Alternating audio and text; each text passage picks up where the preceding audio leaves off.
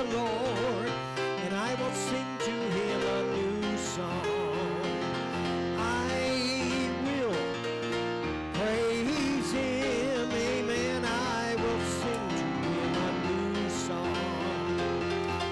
I will praise him, amen, and I will sing to him a new song. Hallelujah, hallelujah, hallelujah,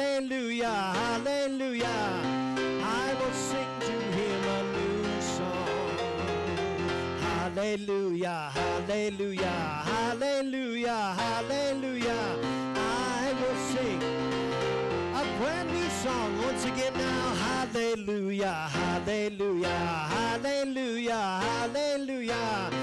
I will sing to him a new song. Hallelujah, hallelujah, hallelujah, hallelujah. I will sing to him. Come on, I have a God, I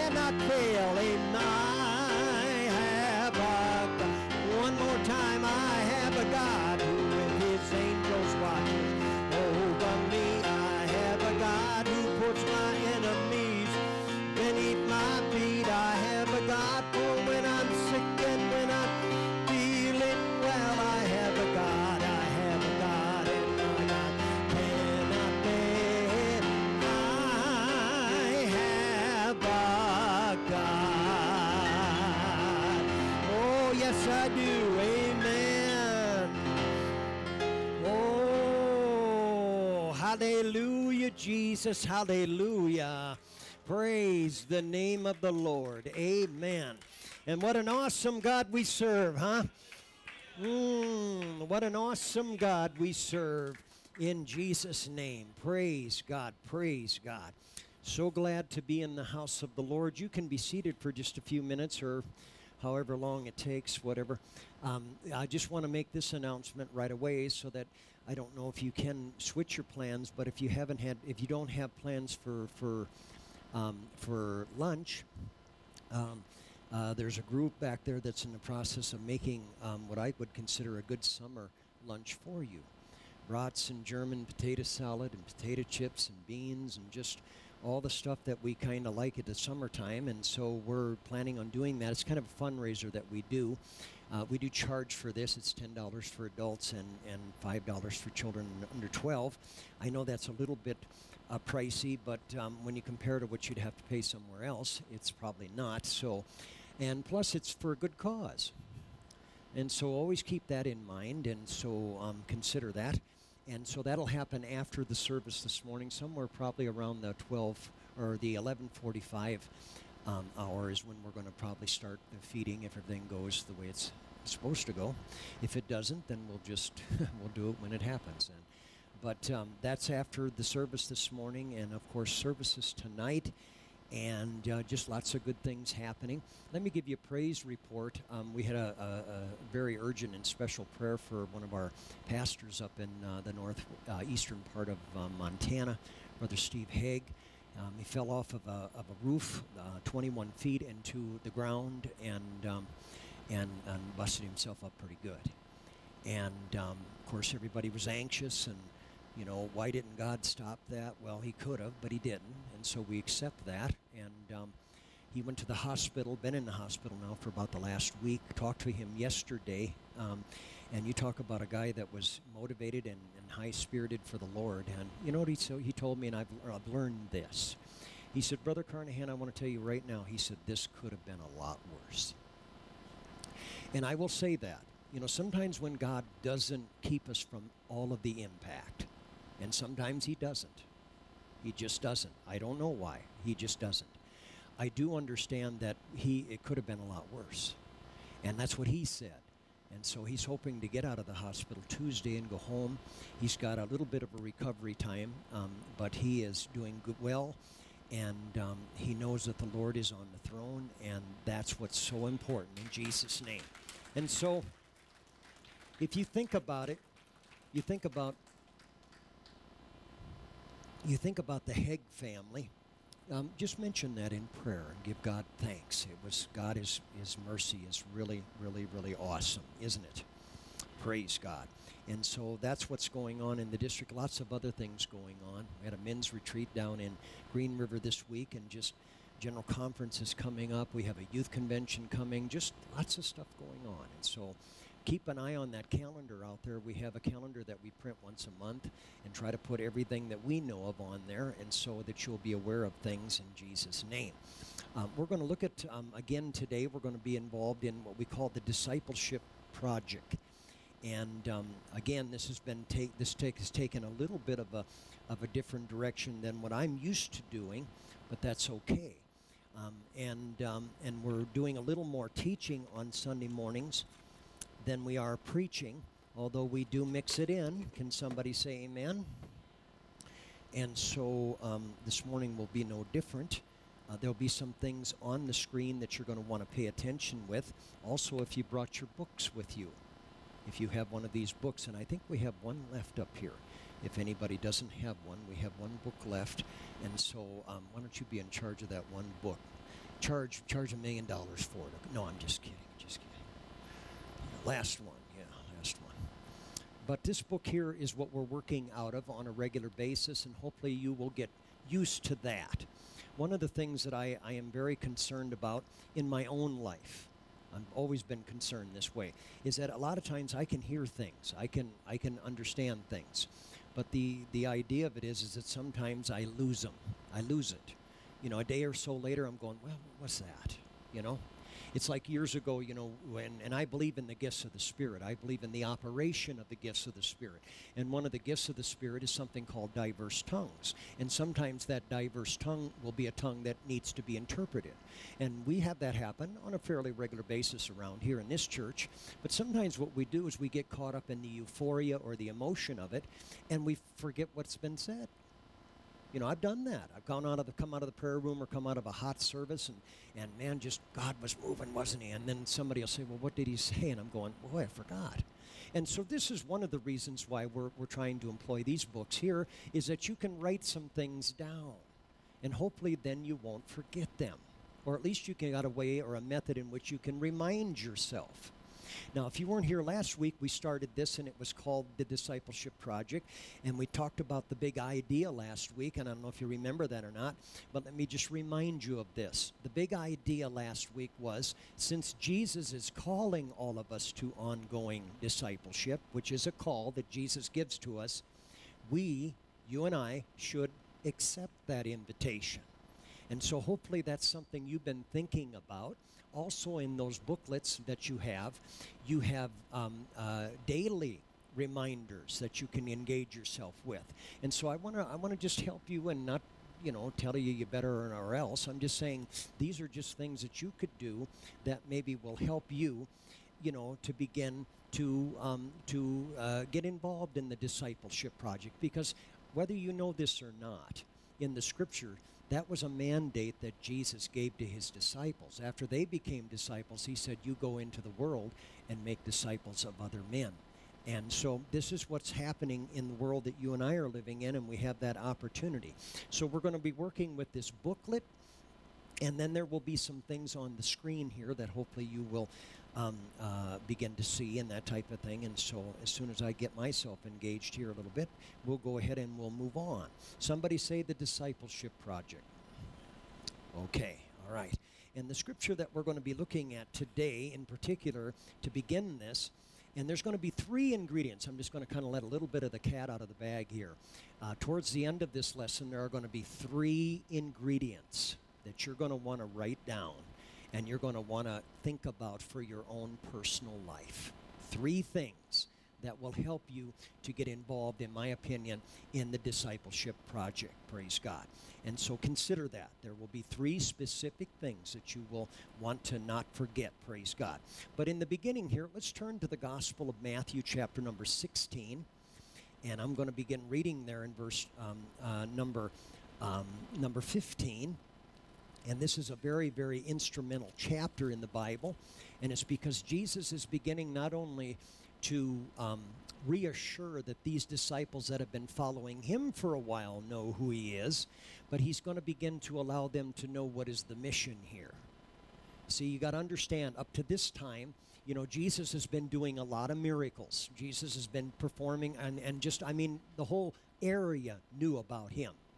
And unfortunately, there were some people that got upset. I've seen that happen before. You know, God will do something great for somebody, and everybody should be rejoicing. Everybody should be happy about it. But there's a few people that'll sit back and get mad about it. And it's like get mad at God doing some good things. I, you know, I don't have it figured out either, but that's just how it works. Praise God. But let's see if I can get this thing to work here. Ah, look at that. It works. Praise God. We're going to go to number three. Yes. Matthew chapter number 15, or I'm sorry, chapter number 16 in verse number 15. And let me read this for you. The Bible says, He said unto them, This is Jesus, but whom say ye that I am? And Simon Peter answered and said, Thou art the Christ, the Son of the living God. And Jesus answered and said to him, Blessed art thou, Simon Barjona. That was his full name, apparently. Son of John is who he was. For flesh and blood hath not revealed it to you. It says, But my Father which is in heaven, the Spirit of God, is in charge of revelation. And then it was goes on to say in verse 18, And I say unto thee that thou art Peter, and upon this rock, what he just got done knowing and saying, I will build my church, and the gates of hell shall not prevail or succeed against it. I've said this for years. It's not like they won't try, but they'll never succeed. Now, when we talk about those three ingredients later on in this lesson, this is going to be very important because it is not the will of God for Satan to succeed in anybody's life. Never, ever has been. Okay. And also, verse 19, look at this. We're still in the 16th chapter of Matthew, verse 19. And I, who's going to be the giver? Don't forget that. I will give unto thee the keys of the kingdom of heaven. And whatsoever thou shalt bind on earth shall be bound in heaven, and whatsoever thou shalt loose on earth shall be loosed in heaven. A very, very, very important principle. The principle of binding and loosing. I've been doing a little personal study here lately about curses because there's some things that that just don't figure out in my brain. And so I've been going into the Word of God and studying some things, and I found some interesting facts about curses. Maybe someday I'll share them with you. Quite a deal, folks. There's a lot of folks, in my opinion, that I can see now are living with a little bit of a curse in their life. And it was of God. God put a curse on the earth, you know. He said weeds are going to start growing, things like that. But consider that binding and loosing. And then the Bible says, Then charged he his disciples that they should tell no man that he was the Son of, or that he was Jesus the Christ, which would have been a real hard thing to do. You ever have Jesus do something for you and you want to tell everybody? Well, sure. That's kind of a natural thing. Well, at this point in time, Jesus was saying, Don't tell anybody. And then in verse 21, I'll just continue on here.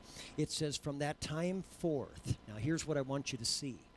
It says, From that time forth, began Jesus to show unto his disciples how he must go unto Jerusalem and suffer many things of the elders and chief priests and scribes and be killed and be raised again the third day. The plan, not only who Jesus is, was, and always will be, but the plan is being revealed. And that's important.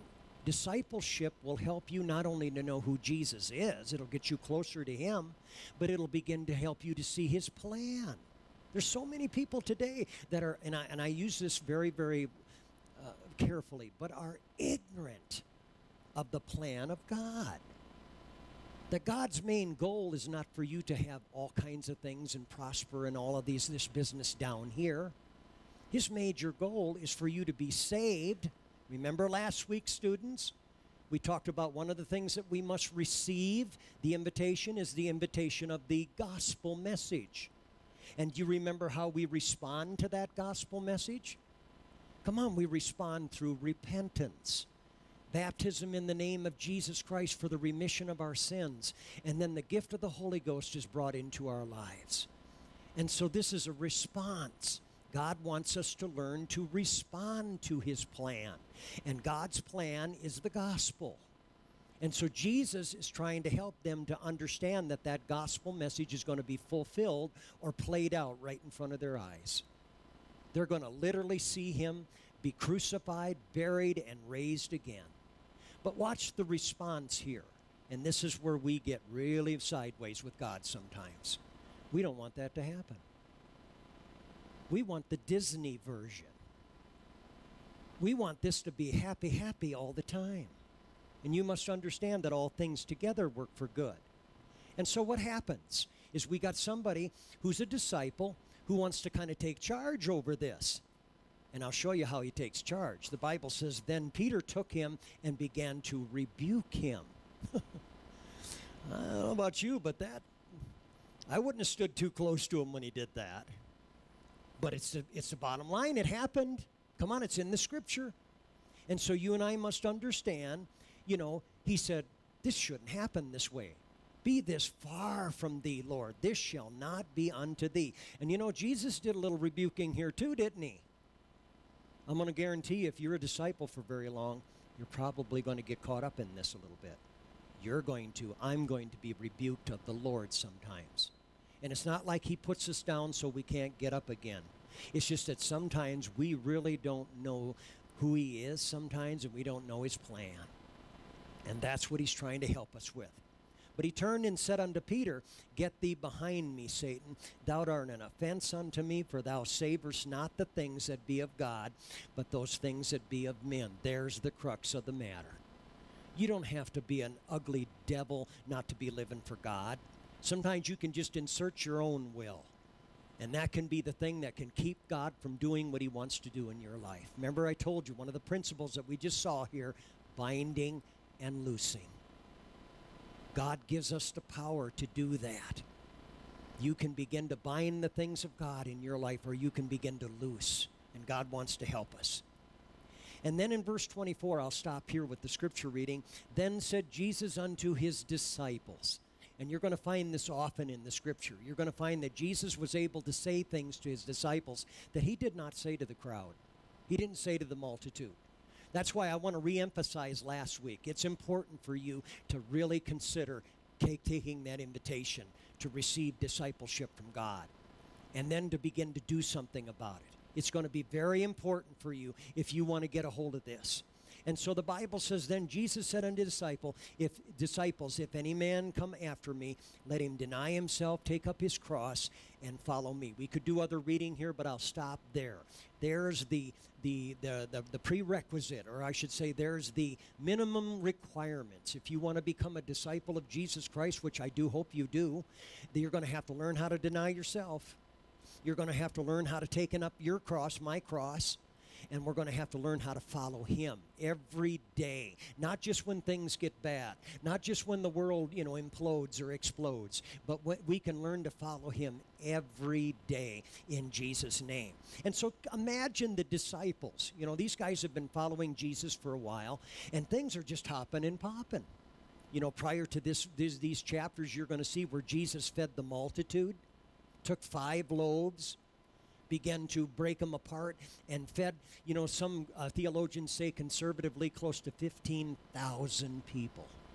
Five loaves and two fishes. Oh, we like that one, don't we? That's a good one. Let's have that one happen every day. Well, it didn't happen every day, but it did happen. And it happened because Jesus was in, a, in the process of showing people that he was from God and he was God. And so you think about that. But look in your booklets there, and you can write some things down if you want to here, but there's some questions there I want you to consider. Why do you think, or why do you suppose that King Herod was jealous or suspicious of Jesus? Isn't that amazing? I mean, Jesus did, he wasn't running for office. He wasn't trying to get into his political area. But Herod was, he was afraid of him. And so, you know, we, we think about that, and you're going to probably encounter people that have that spirit. That, you know, they're jealous and suspicious of Jesus. I've got my own little ideas. One of them is I think a lot of folks like to be on the throne. Okay? And then number two, there, I'm talking about some questions that you can ask yourself or you can write these down. Why do you think the Pharisees and the religious leaders hated Jesus? Why did they have such a problem with Jesus? Again, all he was trying to do was good. You know, one of the reasons I think these questions are important is because maybe you can find out some of the things in your life that maybe is holding you back. We talked about this Wednesday night. I think that some things that hold us back, and God wants to begin to reveal those things. One of my prayers this morning was God, get the beam out of my eye, my eye, so that I can see what you want me to see. And I believe that the Lord can help us with that. And then, how would you have advised Jesus if you knew he was going to go like Peter? What would you have done if you would have been in Peter's spot? You know what I think? Come on.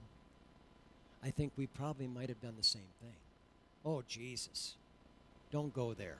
Let's keep this this this healing and this, you know, providing for all the the hungry stuff going. And you know something, folks? That's why I'm saying we have to be careful with this kind of stuff.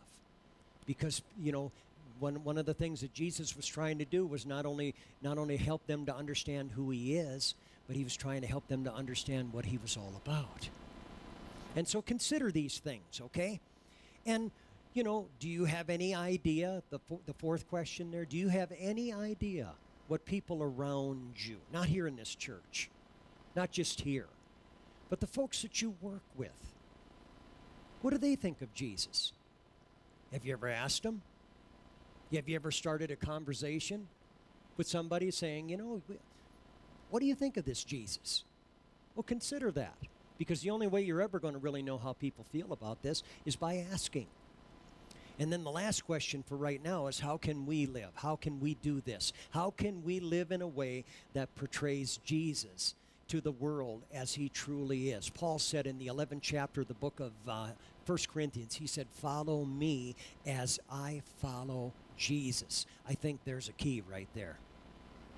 I think one of the ways that we can portray Jesus in this world is by following him, making a daily effort that I am going to put Jesus into my life. And I believe that God's smart enough through you to reveal some things to people around you. So consider these things. See, discipleship is that denying ourselves, picking up our cross, and following Jesus. Think about these things. And so I believe that God can give us great understanding. In fact, I believe that the Lord wants to give us great understanding. Look at what it says here if I can get this thing. Oh, wrong button. There we go. In, in, John, or in Matthew chapter 16 and verse number 16, Jesus, or the Bible says there, and Simon Peter answered and said, Thou art the Christ, the Son of the living God. That was a good answer. He knew who Jesus is and was in Jesus' name. And so I'm going to tell you something, folks. I believe it's important for us to begin that relationship and establish that relationship and maintain that relationship in Jesus' name. Again, verse number 17. What was Jesus' response to Peter's response? You see the first word there? Blessed. Come on, look at somebody and say, blessed. If you know who Jesus Christ is, you are blessed in Jesus' name. In fact, I feel like we just need to lift up our hands right now and we need to thank the Lord, amen, that we know who He is. If you don't know who He is, I believe that He can reveal it to you in just seconds in Jesus' name. Who He is. He is the King of Kings, praise God. He is the King of Kings. Praise God. Thank you, Jesus. I'm glad that I know who He is. Praise God. Come on, folks. I'm here to tell you that's the greatest revelation, in my opinion, that anybody can receive in this life is who Jesus is. Praise God. Now, look at this next slide up here. You know what Jesus did for Peter? Notice in verse number six or chapter 16 and verse 18 and 19. And I say unto thee that thou art Peter, and upon this rock I will build my church, and the gates of hell shall not prevail against it. And I will give unto thee the keys to the kingdom of heaven, and whatsoever thou shalt bind on earth, he shall, or I'm sorry, shall be bound in heaven, and whatsoever thou shalt loose on earth shall be loosed in heaven. You know what Jesus gave Simon? You can write this down. He gave him a name change. Praise God. And I'm glad for that. Praise God. Names are important. You know, we don't think about it now because a lot of the things that we do today are based upon fads, they're based upon popularity, they're based upon all kinds of things. But you know what the word Peter means? Yeah, it doesn't mean just a rock, it means a small rock. What was God trying to tell Peter? He was trying to say, You might be a rock, Peter, but you're not the rock. Come on, I'm here to tell you, friend, that's what we got to get down sometimes, is that we know who the rock is. Praise God. His name is Jesus. That's why that revelation of who he is is so very, very, very important.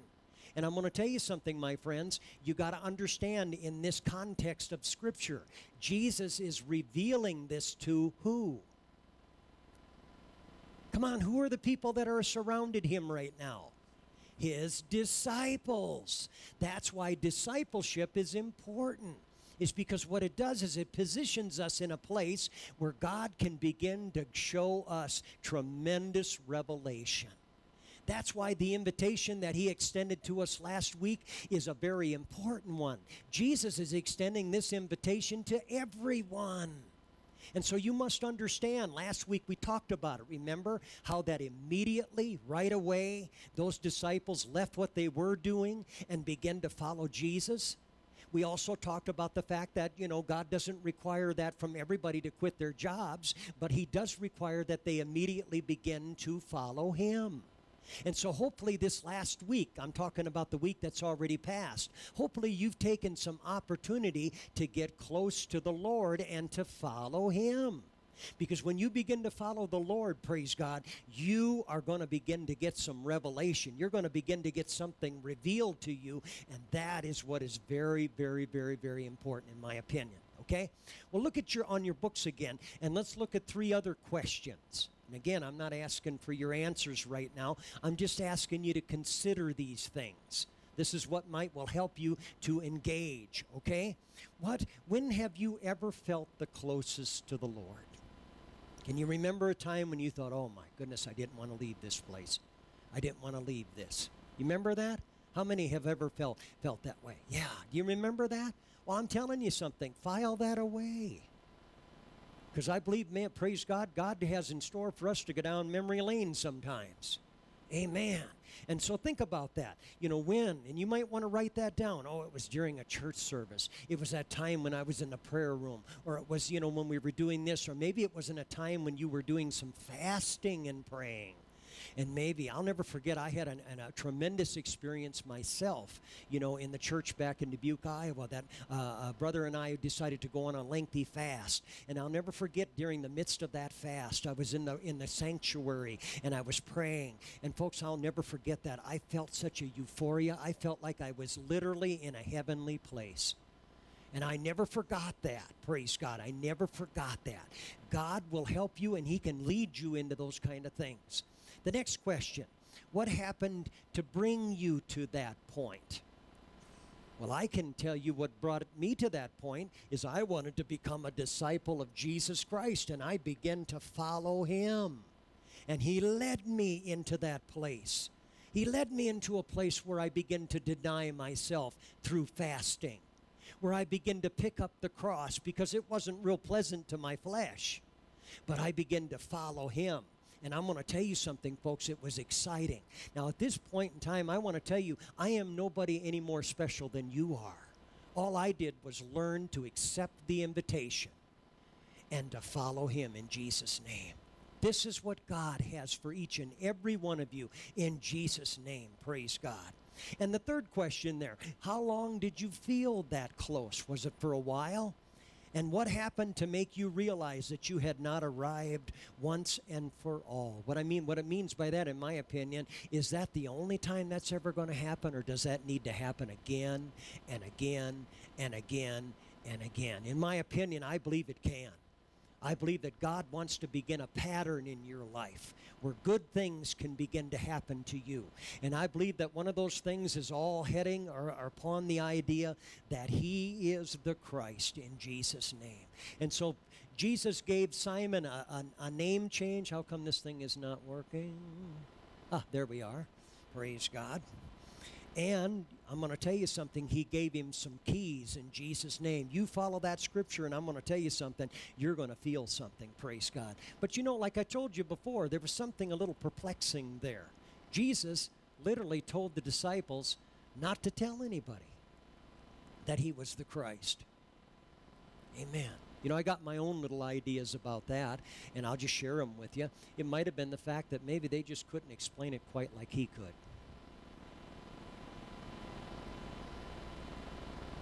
There's a lot of things when I first came into this thing that, you know, I, I tried to explain to people. I remember one time trying to, to explain the baptism of the Holy Ghost to somebody, and I was doing the best I could. But you know something? That person came out into the church after about two or three weeks, and they went down to the same altar that I went to, and they got filled with the Holy Ghost.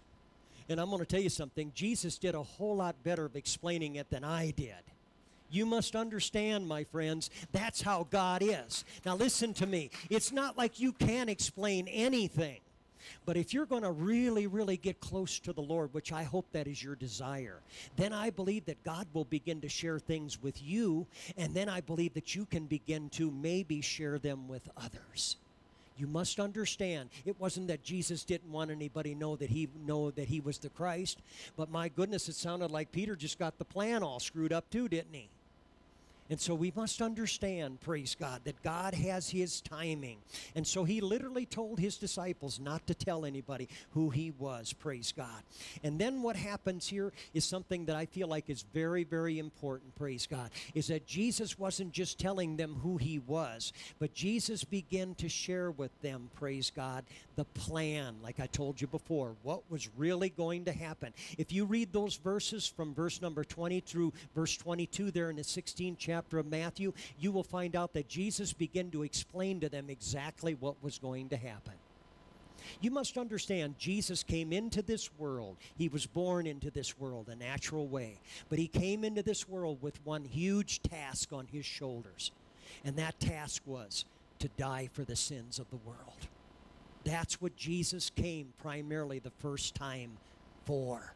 And you know something that I found? I found that we sometimes get that messed up is that we want all the great things of God to happen to us this time around. And you must understand, just like Jesus, he was born to die. And you and I must recognize as true disciples, that's exactly what God has in store for us. That's why the Bible says if you want to be his true disciple, you have to learn to deny yourself. We talked about this last week in the idea of repentance. What does repentance mean? It means to begin to change the way we think. See, the problem here wasn't with Peter's, you know, desire to want to see God do great things. The, the real problem was is that God had to help him to change his way of thinking. And this is what I have discovered when it comes to true discipleship is that we all have our ideas in the way it should be. We all have our ways and, you know, our, our, our ideas in the way it should be completed right now. But you know something? God has the plan. Come on, how many here right now can lift their hands right now and begin to say, God, I want to trust in your plan? Not just in who you are, but in your plan. Come on, let's take about maybe 15 seconds right now and let's reaffirm that in our own personal lives. Come on, I think this is very, very important. No, this isn't in the script, but I believe this is the will of God right now. That He's trying to help us not only to follow Him, but to know His plan. And not only His plan, but His plan for you in the name of Jesus. That's it, Lord. Lord God. I thank you that you came and died for the sins of the world. And now, Lord God, you're calling upon us to do the same thing. No, not to die for the sins of the world, but to die out to ourselves. And I help us, Lord Jesus. Help us to do that in the name of Jesus. And I give you the praise and I give you the glory in Jesus' name. What do you say we just thank the Lord together? Can we do that? Oh, hallelujah, hallelujah. Praise the name of the Lord. Praise the name of the Lord. Praise God, praise God, praise God.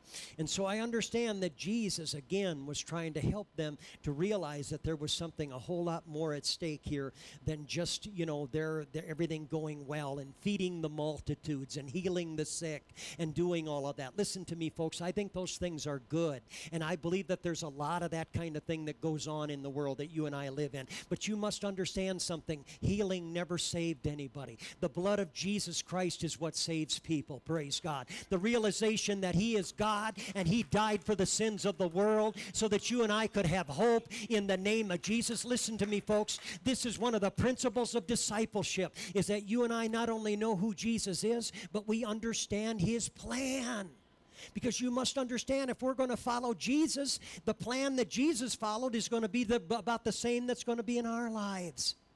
And so I see a lot of people, in my opinion, that make that big mistake that God is this huge Santa Claus up there, that He's just going to provide everything great in my life. Listen to me, folks. Just like Brother Steve Haig told me, he said it could have been a whole lot worse, praise God. I'm going to tell you something right now. That's the way it is in this life. Without God, I'm going to tell you something. There is no hope in the name of Jesus. And so you and I must understand that through discipleship, through following Jesus Christ, that God can begin to reveal to us what his plan is. Not only his plan, but his plan for you in his in your life in Jesus name. Can you say amen? I'll tell you, I'm so, so, so glad. But you know, just like Peter, as I said before, we sometimes have good intentions. We have things that the way we think they should be. And that's exactly what Peter began to do. He began to say, Lord, that's not how it should work. That's not how this should go. And so you must understand this is what I see myself doing sometimes.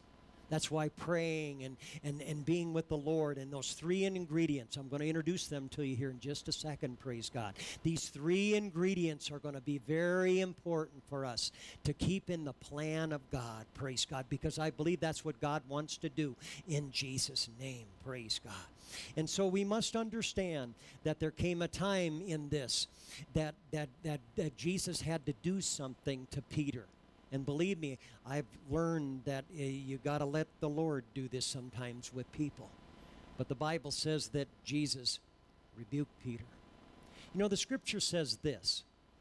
Listen to me now. This isn't in your script, but you might want to write this down. First Timothy, I think it's First Timothy chapter number three. Is it First Timothy chapter number three? No, let me verify that real quick here. I don't want to be giving you the wrong scripture. But um, the Bible says in in no second timothy i'm sorry second timothy chapter number 3 and look at verse number uh, look at verse number 14 there. I'm going to get to those three ingredients right after this. The bible says in verse 14 2 timothy chapter 3 verse 14 it says but continue thou in the things which thou hast learned and hast been assured of knowing of whom thou hast learned them. It goes on to say and that from a child Thou hast known the Holy Scriptures, which are able to make thee wise unto salvation through faith which is in Christ Jesus. Timothy was someone who was raised in the church. And then Paul told him, everybody say all. All scripture is given by inspiration of God and is profitable. And notice what it's profitable for. The Bible says it's profitable for doctrine. Look at somebody and say, that's what you're supposed to believe. It's just that simple. Doctrine is what you're supposed to believe. And then it goes on to say, for reproof or rebuke. And that's what you're not supposed to believe. And so a lot of times Jesus will rebuke us and try to help us to understand that's not how it's supposed to be. That's not how you're supposed to believe it. And that's why he will reprove or rebuke us. And then the Bible says for correction and for instruction in righteousness. What I'm telling you is a true disciple of Jesus Christ will become very close to God's Word. And God's Word will be the thing that will help you to know what to believe, what not to believe, what needs to be corrected, and what needs to be instructed. You must understand that is a definite plan of God. Praise God. Because you want to know who was rebuking Peter? Let me remind you of this the Word that became flesh. Jesus is, was, always is the Word. And so, this is what we must understand when we get these ideas in our head, even though they might be good to us. We need the help of the Lord, praise God, to help us in Jesus' name. And so the Bible says there in chapter number 16 and verse number 20, 22 that, you know, that Peter began to rebuke the Lord. But in verse 23, Jesus began to rebuke Peter. And so if you're going to be a true disciple of Jesus Christ, and I hope that's what you want, you're going to have to learn that sometimes the Lord is going to have to rebuke you. Sometimes He's going to have to rebuke me. And we're going to have to be willing to handle it. Praise God. There's a scripture in the book of Hebrews. I won't have you turn there, but it's very simple. The Bible says that God will chasten them whom he loves. And you must understand, you know, one of the relational relationship aspects of the kingdom of God is sonship. That he's the father and we are the son. And so this is what God wants to do, praise God. He wants to help us to understand this. But here's an important principle, and I'm going to give you three ingredients, praise God, that will help you with this. We must understand something here, folks, that we are not transformed into mature Christians overnight. You don't come to a church service and accept Jesus as your personal Lord and Savior, and all of a sudden everything is okay. No, it's a process. And that's why the big idea this week is discipleship is a process. If you embrace the process, which is very important, you're going to have to get with the process. You're going to have to quit, you know, shying away from the process. But if you embrace the process, then you're going to end up closer to Jesus than you ever have before. Come on, I feel some desire in here right now. I feel like there is a desire to get close to Jesus Christ. Come on, are you willing to pay the price, which is through the process? Come on, why don't we again? We got a few minutes. Why don't we lift up those hands right now and say, Lord, I want to embrace the process. I want to do what you want me to do every day in the name of Jesus. Not my will, but your will being done. Oh, I feel that, praise God. I'm telling you right now, folks, there's some things that are going to be broken because of this process in the name of Jesus. Oh, thank you, Lord. Thank you, Lord. Praise you, Jesus. Hallelujah. Thank you, Lord, for people who will answer the call. That will answer the call in Jesus' name. Praise God. And so you may be seated again. The Lord bless you. And so we must understand something here, like it says on the screen. Discipleship is not a one time event, but you must understand, but a, come on, write that down. Please write that down. Please get that in your spirit. It's not a once a week thing. It's not a once a month. It's not going to a church camp once a year. Come on, these things might encompass it, but it's a daily process. And hopefully, some of us are beginning to see the revelation of that plan. Come on, I'm telling you, most of you have already received the revelation of who Jesus Christ is. But I believe there's a revelation of his plan for your life right now. Just like Peter, I got to go to Jerusalem. I'm going to be mistreated. There's going to be a lot of folks that are going to hate me, and I'm going to die. And Peter's saying, No, that can't be. But I'm here to tell you, folks, the process is going to take place, whether you like it or not. And that's why you and I must begin to we must begin to embrace the process. And what is that? Every day. Every day. Say that with me. Every day. Every day. Every day counts for the Lord. Come on, that's what I'm telling you. It's not a complicated thing, but it's something that has to take place every day. And that's what made the difference. That's why his disciples put away their fishing nets, they put away their jobs, and they begin to daily follow Jesus Christ. This is the process that needs to be embraced. This is the big idea this week, praise God. Last week, it was the idea that the invitation is being extended and you need to accept the invitation.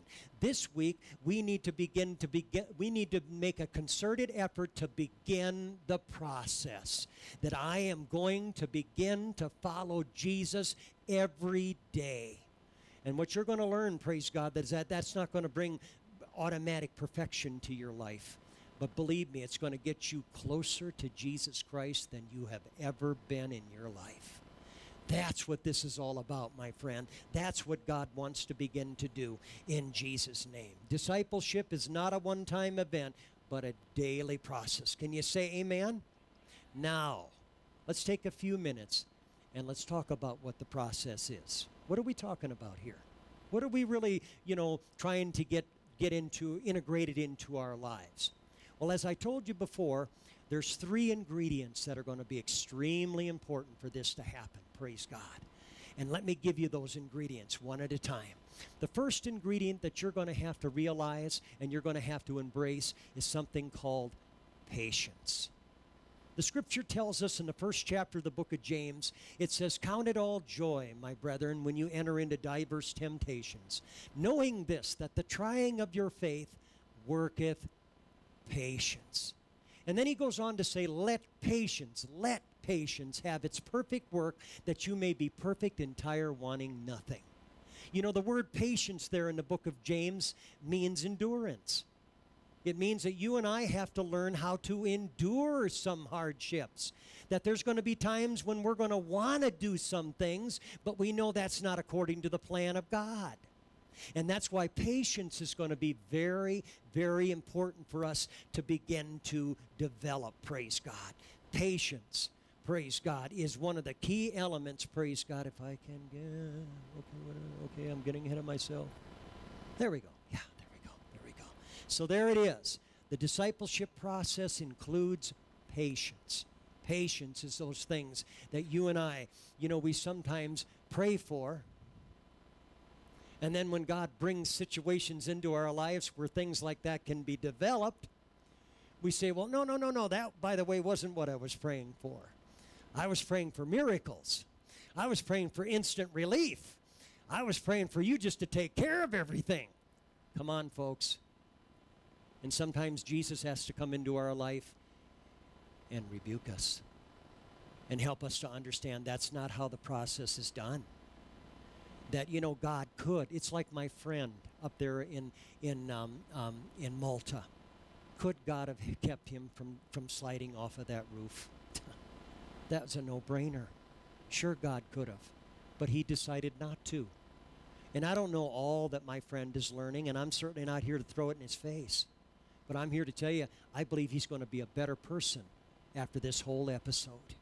And believe me, he's going to have to learn some patience because for the next six weeks, he can't walk. Ooh, how, how many of us would like to be put in that kind of a situation? Yeah, that one wouldn't cut it very well. What would have been our idea? Our idea would have said, well, just send one of your angels to catch him when he flies off the roof there and just set him gently down. Disney. Disney. Come on, God could do that, and I've heard of cases where God does things similar to that. But sometimes He chooses not to. Why? Because He knows that the discipleship process needs to take place. Patience. This is something that you and I are always going to struggle with because you and I have something within our makeup called our flesh that don't like it. And that's why the Bible says, remember the pre remember the the minimum requirements for becoming a disciple? What did Jesus say at the end of this chapter? Deny yourself, pick up your cross and follow him. Remember those principles? Well, I'm telling you something, folks. Patience is designed, or endurance is designed to help us to be able to deny ourselves. Because again, I'm going to emphasize this again. It's not only just knowing who Jesus is, it's very important that we begin to understand his plan. And we know that his plan was to be born into this world and to live a godly life, and then one day to be crucified and buried and to be resurrected, praise God. Well, you and I, in similar fashion, are the same way, praise God. We were born into this world, and God wants to lead us into great, close fellowship with him. And then, praise God, we are going to die also. But how many knows that that's not where it ends? Come on, folks, our hope is that one day we're going to be resurrected along with Jesus Christ. Come on, folks, I'm telling you, the plan of God is foolproof. But we must receive, we must embrace the plan. This is what God wants to help us to get to a place where we can do this. And this is only done, it can only be done through a daily relationship with Jesus Christ. And so patience is very, very, very important, praise God. Christ is formed in us, literally. He is formed in us, praise God, one day at a time. Ingredient number two is that we must understand and learn the art of consistency. I've made reference to this, and I'll continue to make reference to this. This is one of the things that God taught me very valuably when I first got into the church, praise God you know, and that is the fact that discipleship process also includes consistency. What does that mean? That means getting beyond your feelings. That means getting beyond what the results are that you're seeing, and you do it anyway, praise God. Let me give you an example. I believe God has called you to a field out there. It might be a job situation right now, and that call is called to live for Him consistently no matter who else doesn't, in the name of Jesus. Listen to me, folks, one of the most most valuable things you can learn in the kingdom of God is when you fall, not if. When you fall, get right back up in the name of Jesus and say, okay, I'm going to do it over. I'm going to do it right this time. I'm going to let the Lord have his true way in my life in Jesus' name. Come on, I'm talking about the process now. And the big idea in this classroom or in this in this particular week is the fact that discipleship is a process. It's not an automatic thing, praise God. And this is what you and I must learn. We must learn the art, praise God, of consistency. And I believe that God can do that. Look at the questions in your book right now. Do you consider yourself a patient person? Well, you know, write my answer down, will you? Sometimes. yeah, sometimes. But you know something, folks? I have to be honest with you. Sometimes I'm not. Sometimes I'm not. Sometimes I, I, I, know what God needs to do. I know He wants to do it. But I want Him to do it right now. I don't know about you folks. I, I don't man, I can't tell you how many times I've come to the church, maybe on a on a morning when things weren't going so well, and look up towards heaven, and my prayer is, you know, God, today would be a great day for you to come back after your church. Right now, my opinion. Let's just go ahead and take care of it right now.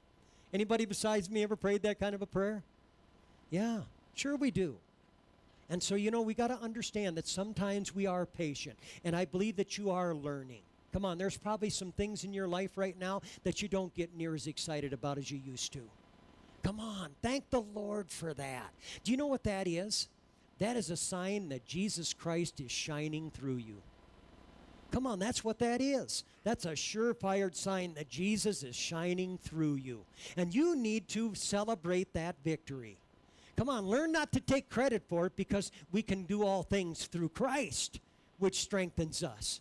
And so, you know, what do we What is it about patience that kind of that, that kind of turns our, our, our, our you know puts on our buttons or pushes our buttons? This is the kind of thing that maybe God can help you through this process to begin to see. Maybe it's just fact that, you know, maybe you don't quite know His Word good enough. Maybe there's some parts about the Bible that you haven't been acquainted with yet. Well, I'm telling you, during this discipleship process, I believe that God can begin to give you some of those scriptural answers and you can begin to embrace them. Another question is why is developing patience so hard for us? Yeah. Well, I've given you one of the one of the main key answers in my opinion, and it's because we have a flesh. We have a flesh that is not patient.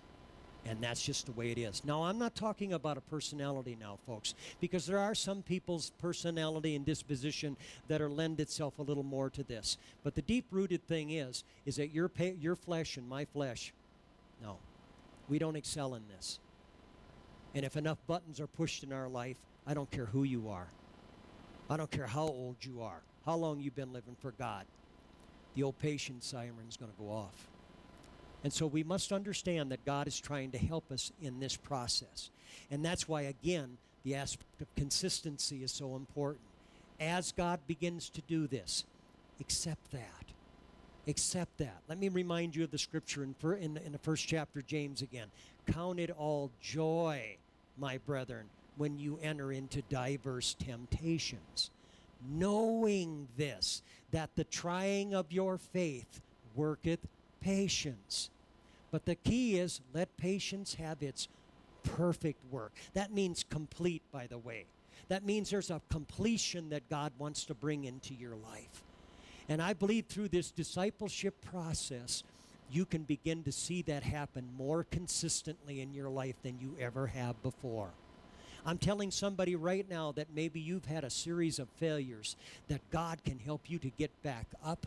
He can help you to develop some patience. He can begin to, in that patience process, begin to put consistency in your life. And I'm telling you, you're going to draw closer to Him than you ever have before. Come on, why don't we just lift up both of those hands right now and let's thank the Lord for what He is doing. Oh, hallelujah, hallelujah. Praise the name of the Lord. Oh, hallelujah, Jesus. Hallelujah, Jesus. The third ingredient, this is one that I want to bring to you right now. Praise God. And again, all of these are very important. And it's important for us to embrace this. But is the idea that the discipleship process also involves submission.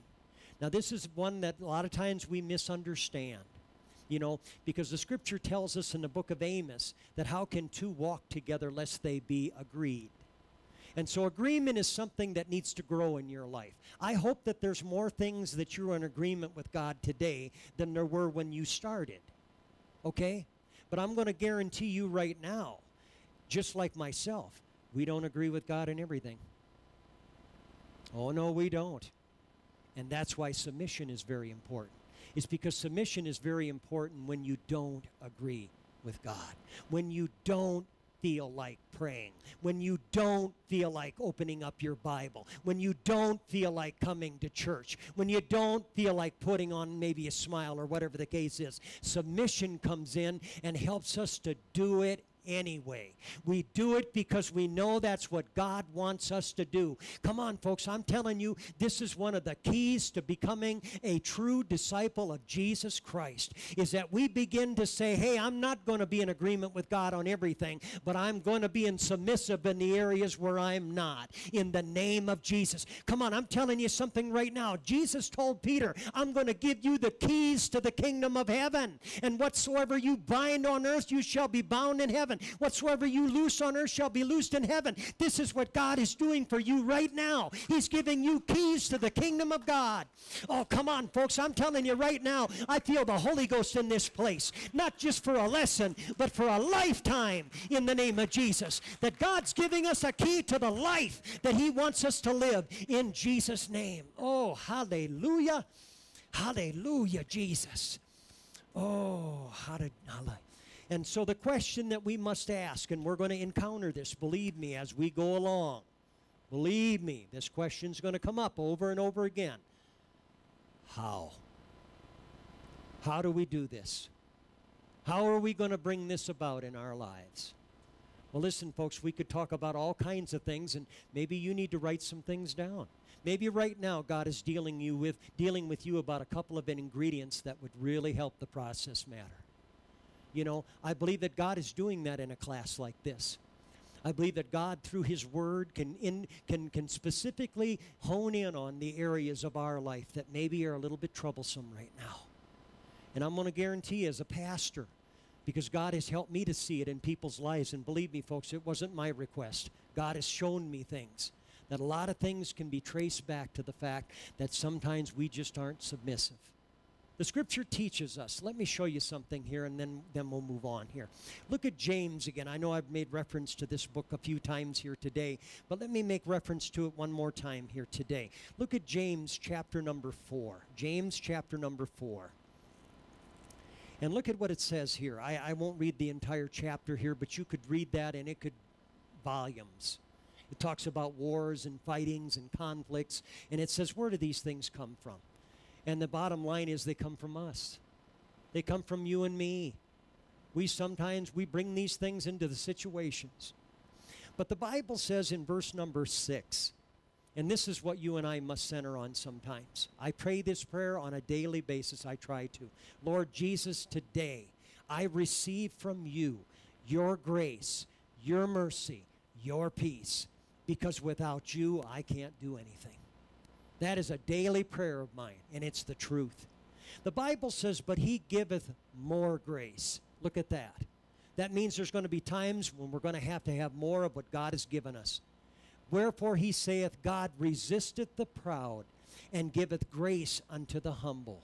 And that's why the Bible says in verse 7 there, submit. The word submit there actually comes from a Greek word that means to obey.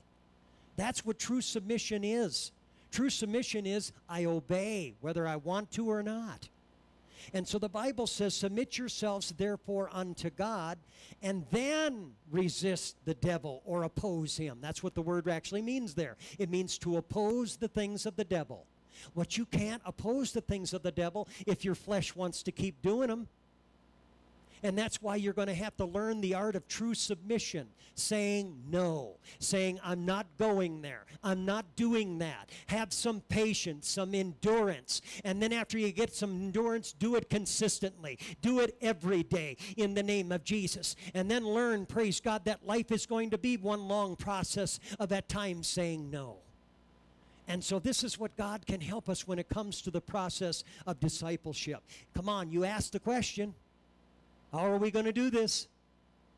Come on, we've gotten some of the ingredients here of how we to do this. We need to develop patience. We need to get consistent or stay consistent and we need to submit ourselves to God. Listen to me, folks. This is not somebody being picked on. This is the process. This is the plan. This is what Jesus is not only trying to reveal who he is, but he's trying to reveal his plan. And His plan is for us to grow in His grace and in His knowledge. Can you say amen? There's a story here that I want to read you that I think can maybe help us to, oh, get an example of what we're talking about here. On August the 7th, 2012, Hunter Kemper, the guy's name was Hunter Kemper, jumped into the water for the start of the London Olympic triathlon. He and the other 54 contestants splashed their way down the swim course. At 36 years of age, Kemper finished a 1,500 meter swim, a 40 kilometer bike ride, and a 10 kilometer run. Let me just interpret that. That's hard. That's hard. The athletes who qualify for an Olympic team are in top physical shape. Think about that. They dedicate their lives to that cause. I'm not being critical of them, I'm just being observant. Those people are sold out for what they're doing. Okay? Boxers, wrestlers, swimmers, cyclists do not automatically get a ticket to compete simply because they are in pretty good shape. Fitness at the, at the Olympic level takes on a different meaning. The fittest athletes do not always get the medals, but they always have a distinct advantage. Come on, I want to stop right now. And I think somebody in this room right now is being talked to about God helping you to be in better shape than you are. And I'm not talking about hitting the rec center. I'm not talking about, you know, getting yourself a brand new pair of running shoes. I'm talking about in the spirit. I believe that God wants to help us to become a little bit more fit in the spirit. And I believe that is absolutely available to every person here today that will answer the discipleship call. Now, psycho- psychologists have calculated the difference, think about this, between gold medal glory and just missing the medal stand by one half of 1%. Very small. And so you must understand the ones that actually end up with the medals, they do a whole lot more. And so for top Olympic athletes like Kemmer or Kemper, training is a six day a week job. That's what they do. Hunter Kemper lives with his family in Colorado Springs, so he is able to train at high altitude. We don't even have to move to Colorado Springs to do that, do we? His daily routine, now, now think about this. His daily routine begins at 7:30 a.m. with a 500 meter swim.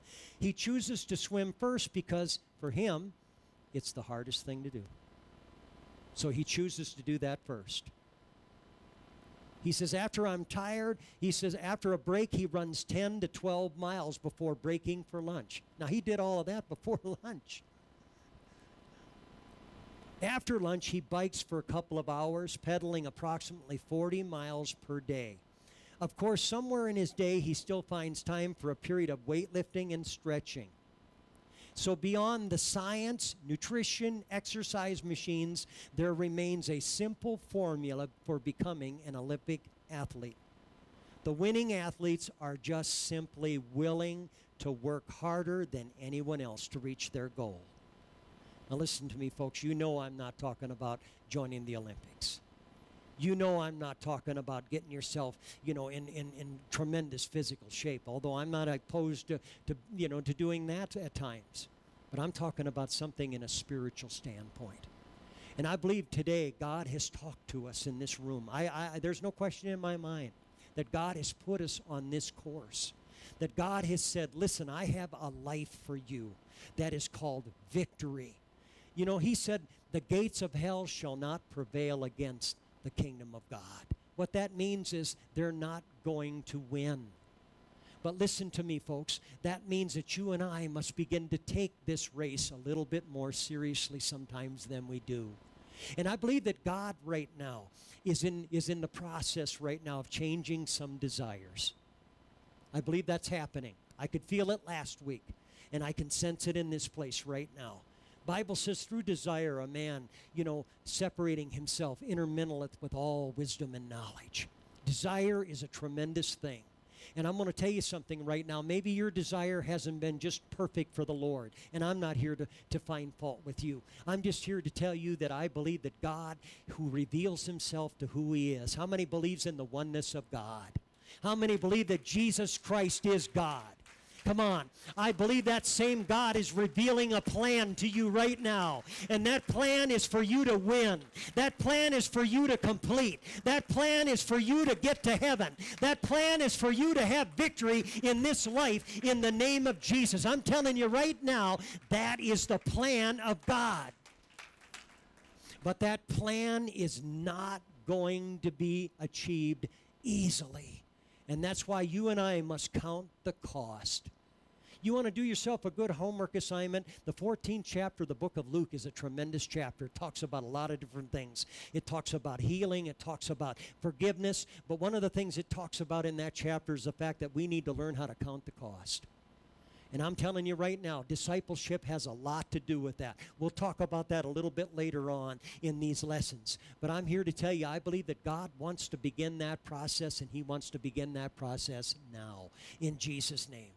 Last week we did this. I don't know if we're going to be doing this every week, but would you do me something? Would you come out of that chair right now and come down to this altar and let's have a little family time of prayer in Jesus' name. Come on, I believe the Lord has told and talked and said a lot of neat things during this session here. There's no question in my mind that every one of you are we're supposed to be here today. No question in my mind. But I believe we must understand, praise God, that we have brothers and sisters that are in the same race as we are, praise God. And we must learn how to pray for one another in Jesus' name. Learn how to encourage one another. I want you to understand if you're sitting here today and maybe things aren't going quite well in your life, I'm here to tell you, folks, Jesus is for you. I'm here to tell, tell you that if things are going well in your life right now, you give God the praise and the glory. But let's begin to lift up our hands right now and let's ask God to help us. Come on, I believe the help is here. I believe the name of the Lord is a strong tower in Jesus' name. The righteous can run in and they're safe in Jesus' name. Oh, what a, what a mighty God we serve. What a mighty God you and I serve. There's no question about it. He is the Almighty, He is the everlasting in Jesus' name. Nobody like him. Nobody like him. That's it. Go ahead and call out to him. Call out to him right now. Listen, if you've never known what true repentance is, I'm telling you, God can teach you. He can help you in Jesus' name. If you've never been baptized in the name of Jesus Christ for the remission of your sins, I would ask you to consider that. If you've never received the Holy Ghost, please learn what that is. That is something that God has for you. He is calling you into His plan, and His plan has has all of the provisions that you need in Jesus' name. Come on, let's take about 30 seconds more and let's just begin to call upon the Lord. Come on, right now, you can do that. You can make up your mind that, praise God, this isn't just going to be another lesson. This isn't just going to be another Sunday morning where I go to church and I go home and forget about it. I'm going to embrace the things that God has given to me right now. I'm going to do something about it. I'm not going to sit here and whine and complain as much anymore. I'm going to begin to say, hey, God, give me some some patience. Help me to endure these things in Jesus' name. And then every day, help me to get up and to be willing, praise God, to follow you in Jesus' name. Help me, Lord God, when I don't agree with you, to bring true submission into the picture in Jesus' name. That's it. That's it, Lord God. I pray, I pray that blessing be upon every one of these right now in Jesus' name, and that your word will grow, your grace will grow, your mercy will grow, your ways will grow into their lives right now in Jesus' name name. That's it, Lord God. Help families to be healed. Help husbands and wives, Lord God, to embrace this. Help them to engage their children in the name of Jesus. Lord God, I give you the praise. I give you the glory, Lord God. You are the one, Lord God, that is willing to do all that we ask or think. In the name of Jesus, give you the praise and the glory. That's it. I feel the anointing of the Lord in this place to break every yoke. I believe the anointing of the Lord is in this place to bring it to pass in the name of Jesus. That's it, Lord God. You are the one. You are the Almighty. You are the everlasting. You are the King of Kings in the name of Jesus. Come on, let's take another 15 seconds. Come on, let's just lift him up in the name of Jesus. Let's give him the glory, give him the honor in the name of Jesus. Oh, bless the Lord. Oh, my soul. Bless the Lord. He is the one. Oh, hallelujah. Oh, hallelujah, Jesus. Hallelujah, Jesus. Hallelujah, Jesus. Hallelujah, Jesus. You can return to your seats. The Lord bless each and every one of you. In Jesus' name, let me just make some concluding remarks here, and then we can go on in Jesus' name and we can have our fellowship. And the Lord bless each and every one of you in Jesus' name. One of the things that I do want to remind you of especially those of you that have young children that you brought to this church, is we want you to understand that your children are, are being engaged in this type of teaching too. And it's not like they're getting it at the level that you are, but they are getting some nuggets and they are getting some ingredients. And so, you as parents, let me just encourage you don't let this sit for a whole week begin to take that little booklet and on, on the, in that booklet that you have your journal your own personal journal there's things that you can begin to do on monday tuesday wednesday thursday and friday. And let me really really encourage you to do this. Talk to your children about this. Engage in a, in a healthy conversation about who jesus christ is and how he represents to you in your life. I'm telling you you're one of the greatest influences that your child will ever have I don't care how old they are, they're still influenced by you. And so, this is an important aspect, praise God, that you will take these things and not just keep them within yourself, but you will begin to engage others. Those of you that maybe don't have any children, maybe you could ask the Lord to give you somebody this week that maybe you could share some of this with, that God could help you maybe to bring somebody else into the kingdom of God. I'm telling you, folks, the opportunities are unlimited in Jesus' name. And so, the Lord bless you. Thank you for coming to a class like this. We're still making some adjustments, still trying to get through this, but we feel like this on the long on the long haul is going to be something that'll be extremely profitable for you in Jesus name. Don't forget the fellowship immediately after this. I don't know how long it's going to take for the food to get to prepare back there. I know they're already back there preparing it, and so it might be just a few minutes before we'll actually start serving. Remember, this is a fundraiser dinner, and so if you can, you can give $10 uh, for the adults and, and, fi- and $5 for children under 12. The Lord bless you. Don't forget our services tonight. Where does services begin on Sunday night? They actually begin on, in the prayer room on Sunday mornings, too. And so you're invited to the prayer room. The Lord bless each and every one of you in Jesus' name. If you have an offering or a tithe, you can leave it before you leave. And the Lord bless you this week in your engaging and embracing the discipleship project. The Lord bless you, folks, in Jesus' name. Be seated. Amen. God is good, isn't He? Praise God. Praise God. I'm so thankful that the Lord is is so good and so powerful in Jesus' name. Amen. It's things like the last 35, 40 seconds, maybe two minutes or so, that can make great impacts on people's lives in Jesus' name because it isn't the will of God for any to be, to be lost. It's the will of God for all to be saved. And so, in services like this, in times like this, in environments like that, even when people came in just with the idea of just screwing around or, or fooling around, praise God, soberness can come into the place. And it just did. It, if you'd felt that, you could feel the Spirit of the Lord. And that wasn't condemnation, praise God. That was the hope of the Lord coming in in Jesus' name. And I'll tell you right now, nobody in this place is going to be the same again, even young and old alike. I don't care how old they are. Praise God. God is dealing and He's touching them. And I am so glad. Praise God. Church, we got to give him the opportunity to do this. This is what we're all about. We're not somebody that has confidence in the flesh, we have confidence in the spirit. Praise God. And so I'm glad that we can do that. We can maintain that in Jesus' name. Praise God. This week we appreciate. Um, those of you that will get in, and all of you really, but those of you that especially that will get involved in this discipleship project that we have going here at the church, don't forget those journals that you have. Review those things on a daily basis, and you will find yourself in the process. Praise God. Why don't you turn to somebody right now and say, I'm in the process? Oh, yes, that's that is absolutely, absolutely uh, a good thing in Jesus' name to be in the process. In Jesus' name, praise God look at the scripture tonight in the book of um, First Peter. First Peter, um, and I want to read out of uh, First Peter chapter number five. First Peter chapter number five, and again, thank you and welcome everybody to these or to this service. Praise God! This um, uh, coming Sunday, um, uh, Brother Fitzner and myself will be getting on a plane in the afternoon, Sunday afternoon, and flying to uh, um, Nashville uh, for meetings. He has meetings, I have meetings, and so um, he'll be gone most of the week. I'll be gone some of the week.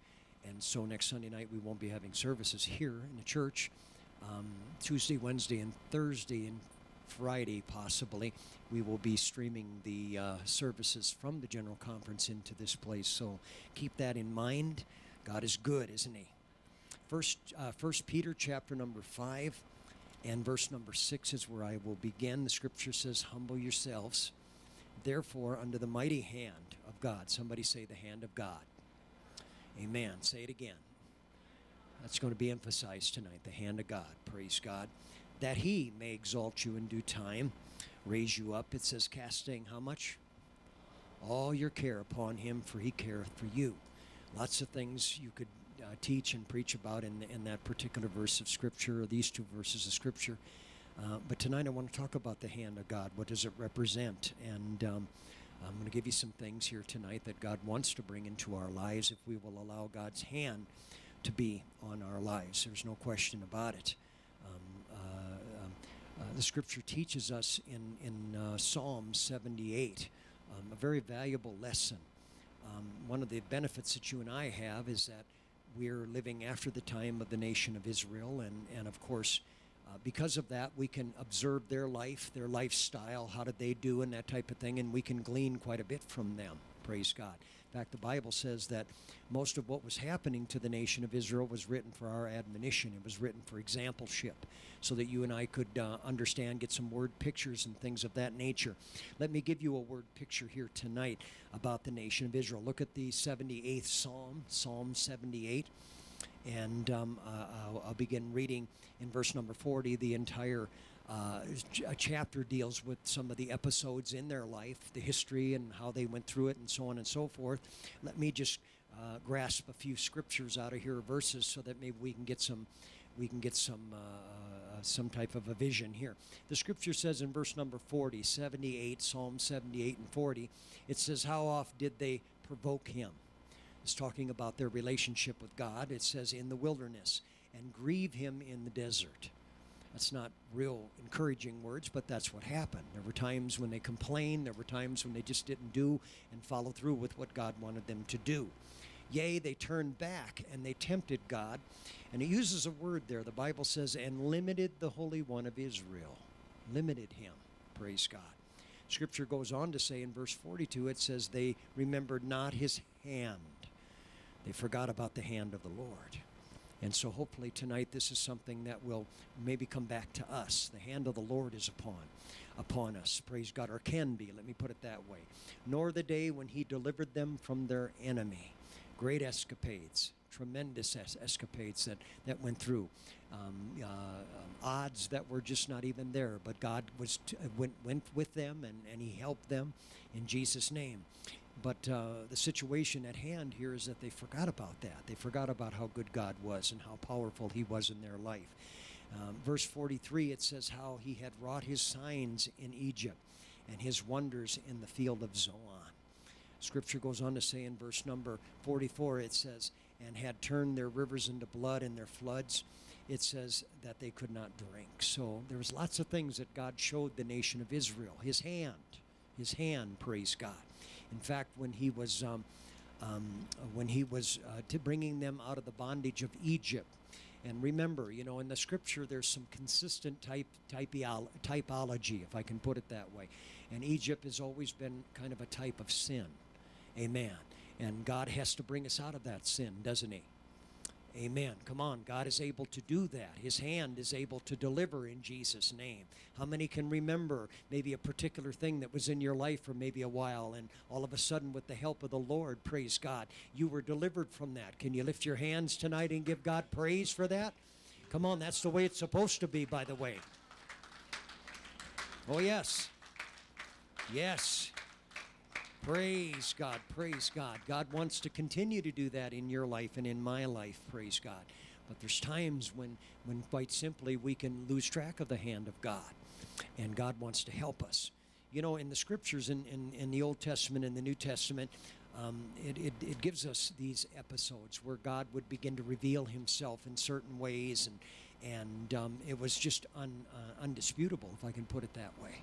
And I believe we serve the same God today in the name of Jesus.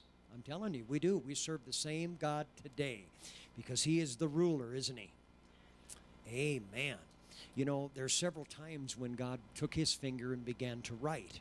You know, one time in particular, I'm thinking of in the uh, book of Exodus, where He um, began to take His finger and begin to write the law on those um, uh, stones, those those uh, tablets, praise God. And, and no doubt, praise God, that must have been quite a sight to see. Amen. But even with that, you know, sometimes people would lose sight of, of, of what God was saying. And so we've got to be careful, praise God. Um, I've taught for a long time, and I'll continue to teach that I believe that what God is doing now is not so much writing things on tablets of stone, but He's writing things on our hearts. That's what he's doing. He's reminding of us of things about his word, praise God, on a daily basis if we will let him, if we won't limit the Holy One, praise God. And so uh, there's got to be some consideration of that, praise God, that we're not going to limit what God is going to do in our lives. Do you feel that way tonight? Come on, I feel like there's somebody here tonight that maybe this is just exactly what God has been reminding you of this past week. That's good. Just lift up those hands right now and say, Lord God, I receive. Come on, the Bible says to humble ourselves under the mighty hand of God. Humility just means, God, your will, not my will. Praise God. Humility just says, I'm not going to be in charge. You're going to be in charge in Jesus' name. Let the Lord do that, praise God, in the name of Jesus. Oh, hallelujah, hallelujah. Oh, that's right. I, that's right. I believe that God is doing some tremendous things in the name of Jesus. Oh, hallelujah. Hallelujah. Hallelujah. That's right. That's right. Let's let Him continue to do that. Let's let Him continue to write those things on our hearts. Let's not lose track of what God is doing in the name of Jesus. Praise God. Um, in the New Testament, praise God, we see there was an episode where Jesus literally stooped down. He was in um, in the temple, praise God, and people were uh, things were happening. They brought someone before him that was caught in the um, aspect of sin. And of course, the law stipulated that um, if a person was found in this kind of sin, this kind of guilt, that there was a stoning to be played to take place. And of course, Jesus didn't deny the law. Jesus didn't do that. He came to fulfill the law.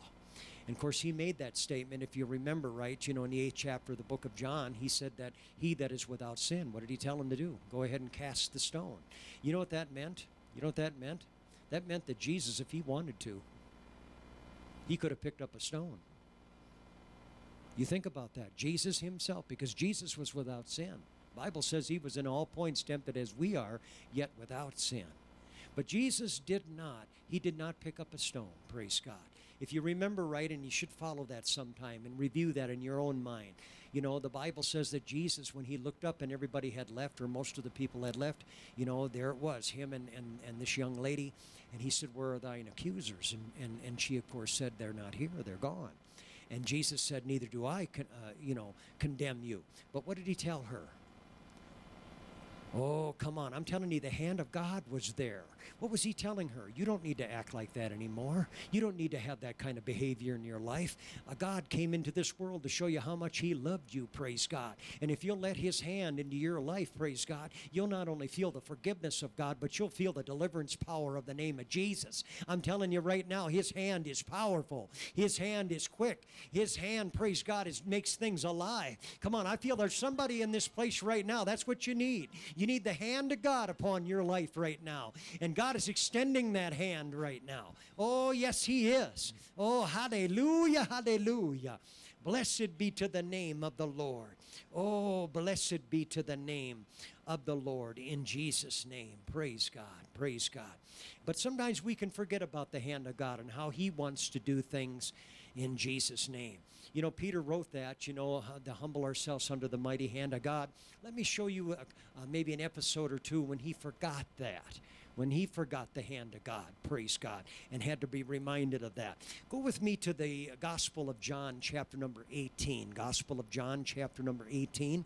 And let me show you something here um, in, in Jesus' name the scripture says, you know, and of course, this is the time when Jesus was just before his crucifixion, and course, he knew what, was happening, and, and so on and so forth. This morning, we talked a little bit about the fact that when Jesus began to reveal this plan to his disciples, Peter, of course, spoke up and said, Be it far from thee, Lord. This is not something that he felt like Jesus should do. And of course, the scripture says that he was rebuking Jesus. And of course, we understand this morning after learning from the word that Peter, or not Peter, but Jesus turned around and rebuked Peter, didn't he? Yeah. The plan of God is important, folks. And I'll tell you something the hand of God is what brings the plan of God into our lives in Jesus' name. And so in the 18th chapter of the book of John, this is what's happening before them. And the scripture tells us there, it says that um, when Jesus had spoke these words, he went forth, and I'm in verse number 1, 18 and 1.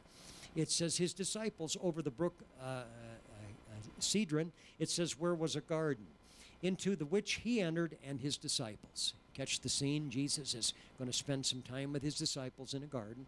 And Judas also, which betrayed him, knew the place, for Jesus, Jesus oft times resorted thither with his disciples.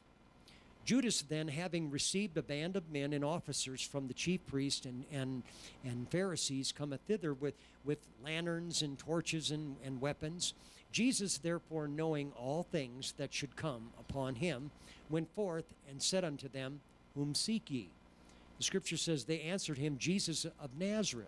Jesus saith unto them, I am he. And Judas also, it says, which betrayed him, stood with them. Scripture says in verse number six, As soon then as he had said unto them, I am he, the Bible says something here, and I've often uh, pondered this thought. The Bible says they went backwards and fell on the ground. Wow. I am he. Come on, somebody say the hand of God. I'm telling you, the hand of God is powerful. In Jesus' name. And so here's the hand of God. Whom do you seek? Jesus of Nazareth. I'm him. Wow. Well, in verse number seven, then asked he them again, Whom seek ye? And they said, Jesus of Nazareth. And Jesus answered in verse number eight, I have told you that I am he. If therefore ye seek me, let these go their way. That the saying might be fulfilled which he spake of them, which of thou has or which thou gavest me, have I lost none. But watch this. The Bible says then Simon Peter didn't quite learn yet. The scripture says, having a sword. Got to be careful who you hand those swords to. Yeah. Praise God. Bible says having a sword, he drew it and smote the high priest's servant and cut off his right ear. The servant's name was Malchus. Bible says, come on, Peter, that's not the hand of God. Let me show you the hand of God. The scripture says, Then said Jesus unto Peter, Put up thy sword into the sheath. The cup which my Father hath given me, shall I not drink it? Then the band and the, and the captives and a captain and the officers of the Jews took Jesus and bound him. Praise God. What you have to do is go to the book of Matthew, chapter number 26, where you'll find that, you know what Jesus did? Come on, we're talking about the hand of God here. He reached down and picked up that ear. Personally, I think that what Peter was looking to do is cut the guy's head off. Yeah. You know, that's what we say the hand of God is sometimes, isn't it? And what did Jesus do? He picked up that ear and put it on the side of that servant, and he healed that man. I'm telling you, even in the midst of his enemies, praise God, even in the midst of people that wanted to put him to death, praise God, Jesus allowed the hand of God to be revealed in Jesus' name. I'm telling you, the hand of God is powerful. Come on, let's go back to our original scripture tonight. Humble yourself under the mighty hand of God.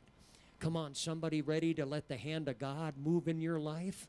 In the name of Jesus, I'm telling you, it's one of the greatest things that you can do. Oh, man, I feel the Holy Ghost ministering right now. I'm telling you, you can lift your hand up right now and you can begin to ask and you shall you shall receive, you shall seek and you're going to find, you shall knock and it's going to be opened up to you. I'm telling you right now in the name of Jesus.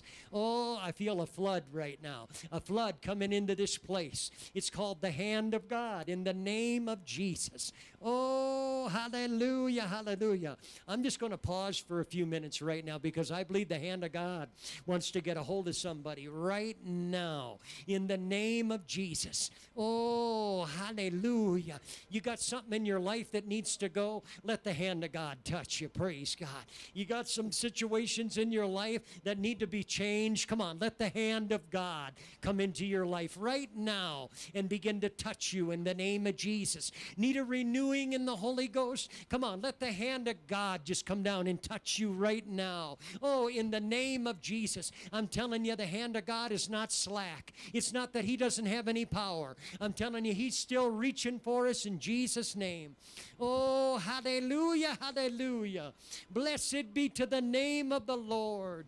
Oh, hallelujah, hallelujah, Jesus.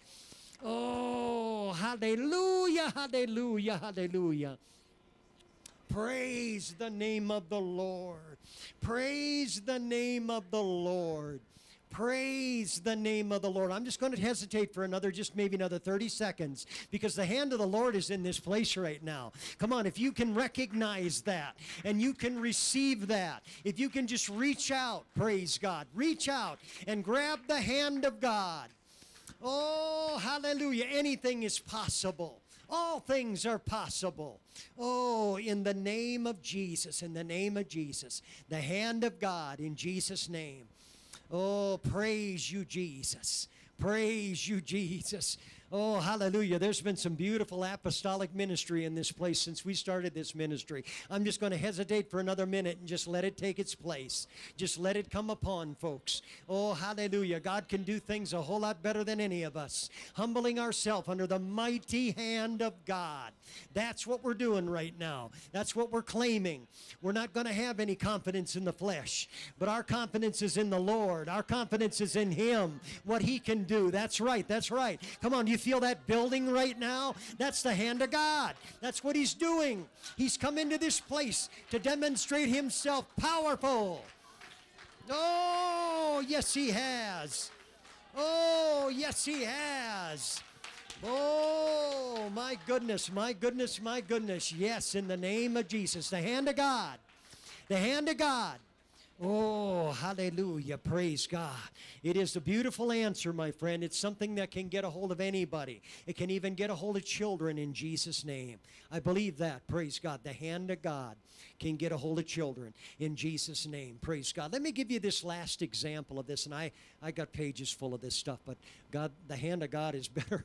Is a whole lot better than me, I, and I appreciate that. I really do. Um, and as I told you before, you know, there's the nation of Israel has had limited the hand of God at times in their life, and and you think that they would learn, and sometimes they did, and God would have to send prophets onto the scene to remind them of this.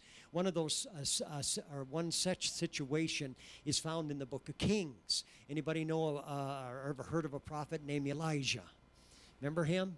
Praise God, came onto the scene, and the Bible teaches us that it was uh, God's time to get their attention. And so what he did was he, he literally um, uh, shut off the rain in the land. And this was something that was prophesied even before this. It was prophesied during the reign of uh, Solomon. Amen. That God said, if I shut up the heaven, there's something wrong. You know, and you better seek my face. If my people that are called by my name shall humble themselves Come on. Yes, turn from their wicked ways and seek his face. Bible says then he would he would and he would heal their land and forgive their sin. Come on, we're talking the same God. We're talking about the hand of God. And so during the prophet of, Elijah, that's what what happened. That literally is what happened. They had turned to a false God.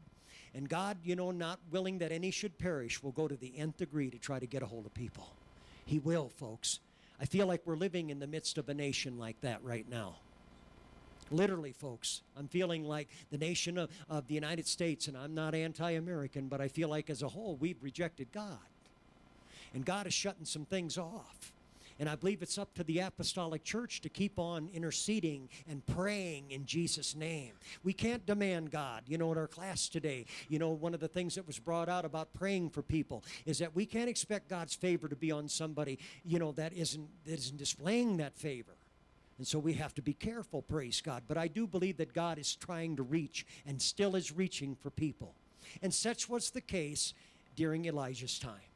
But you know, it took three and a half years. Think about that. You know, it didn't have to be that long, but it took that long. And all of a sudden, God said, Now it's time. And you remember that in the 18th chapter of 1 Kings? You remember how that the, the commandment went forth from the prophet? Let's all come to church.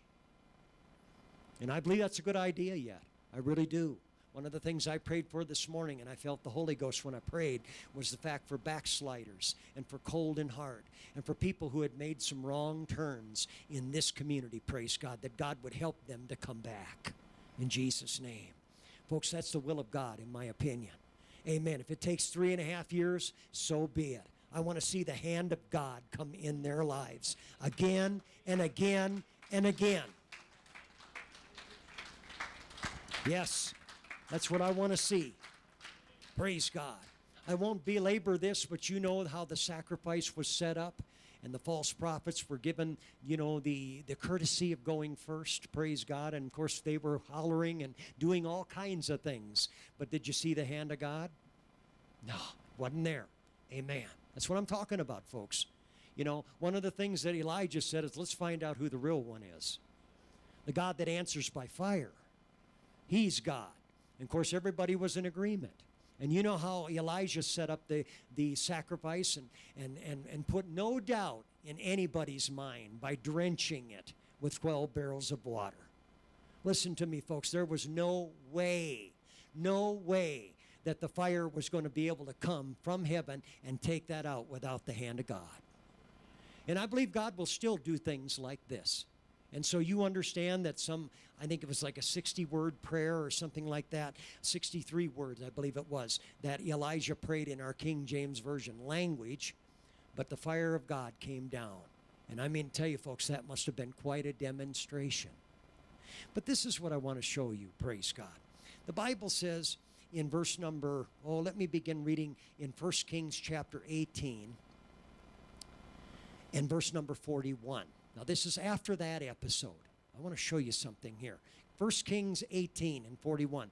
And Elijah said unto Ahab, Get thee up, eat and drink, for there is a sound of abundance of rain. Because you must understand, up to this time, it hadn't rained for three and a half years. And so the Bible says, So Ahab went up to eat and to drink, and Elijah went up to the top of Carmel, the mountain. And he cast himself down upon the earth and put his face between his knees. And he said to his servant, He said, Go up now, look towards the sea. Come on, most of us are not um, uh, uh, oblivious to the fact that if it's going to rain, there's going to have to be some clouds, right? And the Bible says, And he went up and he looked and he said, There's nothing. And the Bible says, He said, Go again. Good advice. And the Bible says, Seven times. You know, again, I told you that there's some typology in the Bible that's consistent, praise God. Egypt, when it's mentioned, a lot of times is talking about sinfulness or sinful um, uh, lifestyle. Well, the, word, the number seven is significant too because in a lot of instances, seven is complete. Praise God. And so I don't believe that God just pulls these things out of a hat. And the Bible says, look at verse 7, uh, 44. The scripture says, And it came to pass at the seventh time that he said, Behold. It's got my attention. How about yours? Behold, there ariseth a little cloud out of the sea. But what does it look like? Come on, folks. I'm here to tell you tonight you can begin to recognize the hand of God in your life again in Jesus' name and it might not look very big at first. And so the scripture says, He said, Go up and say unto Ahab, Prepare thy chariot, and get thee down, that the rain stop thee not. And so what you must understand is that Eli, or, or Ahab climbed in his 19 or 2015 Mini Cooper S He climbed in his, his 2015, um, what's another hot car? Corvette. No, they didn't have those kind of cars back then. But probably if they did, he might have had one. No, he climbed in the best thing they had, and that was his chariot. And the Bible says, you know, it, it um, that um, it came to pass in verse 45 it says in the meanwhile that the heavens was black with clouds and wind and there was a great rain. And ahab rode. He was in his chariot and went to jezreel. But look at verse 46 but the hand of god. Come on somebody here you're just worried about the wrong thing you're worried about how it's going to come to pass. I'm here to tell you the hand of God comes upon you, just like it came upon Elijah. The Bible says he girded up his loins and he ran before Ahab. Now you must understand from Carmel to Jezreel, that's not just a trip around the block. That's 20 miles. 20 miles. And that'd be a hard enough trip if you were in a chariot. But listen to me, the hand of God came upon Elijah. And I don't know exactly how old he was at this time, but I'm here to tell you when the hand of God came upon him, he was able to outrun the greatest, you know, the great one of the greatest vehicles that was at that time. I'm here to tell you folks, that's why we need to humble ourselves under the mighty hand of God. That's what He wants us to get into practice of doing. I'm telling you, my friends, the hand of God is in this place right now. And I'm here to encourage somebody. If you need something from the Lord, the hand of God is here to be put upon you. And it's going to look maybe like a little cloud in the sky, but I'm here to tell you it's able to produce some things. Come on, I feel faith in this house right now. I feel like somebody can rise up right now and you can allow the hand of God to come on your life in the name of Jesus. Come on, we don't need to worry. We don't need to fret. We don't need to be worried about what's happening in the name of Jesus. Come on, we just need to accept the fact that He can do it. Oh, in the name of Jesus, He can do it. He can do it in the name of Jesus. Oh, hallelujah, hallelujah. Come on, I'm telling you, the hand of God can do anything. The hand of God can do everything. Oh, in the name of Jesus, you have a need right now. Come on, why don't you just put that, put your hand in the hand of Him that can do anything in the name of Jesus. I feel the healing power of God right now. I feel the name of Jesus. I come against a cancer right now. I come against a, a heart disease in Jesus' name right now. In the name of Jesus, by the hand of God. I come upon that right now in the name of Jesus. Come on, a financial need right now. I come upon that with the hand of God in Jesus' name. Oh, yes, direction, whatever it is, in the name of Jesus. Come on, if you're serious about this, you can come down to this altar tonight. You can lift up those hands right now. You can say, Yes, Lord God, I want your hand upon my life. Come on, I believe the Lord's going to do this right now, right now, in the name of Jesus. Oh, hallelujah. Come on, no hesitating no unbelief, no doubt in Jesus' name. We just come, Lord God, believing in your hand tonight in the name of Jesus. That's it, that's it, that's it. The scripture says to humble ourselves under the mighty hand of God, and He will exalt us in due time. He will lift us up. He knows how to do it, He knows where to do it, He knows when to do it in the name of Jesus. That's it, that's it. Begin to call upon His name. Begin to call upon the name of the Lord.